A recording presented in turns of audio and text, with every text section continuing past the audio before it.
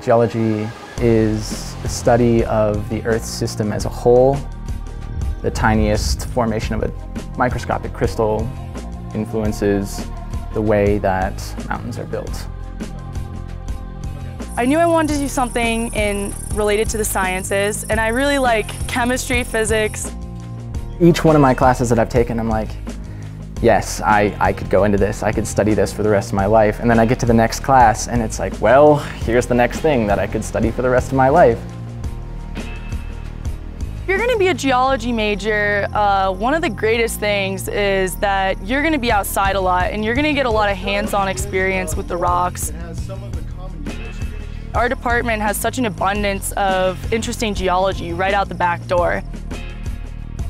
By studying geology at CU Boulder, I feel completely confident that I'm going to come out of college with skills to go into many different Earth-related fields.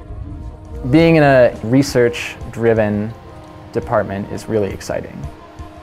A number of the papers we've read were recent papers that my professors have put out and really influential papers, uh, and it's exciting to see that influence from the people that taught you I'm learning from the masters. That's really cool.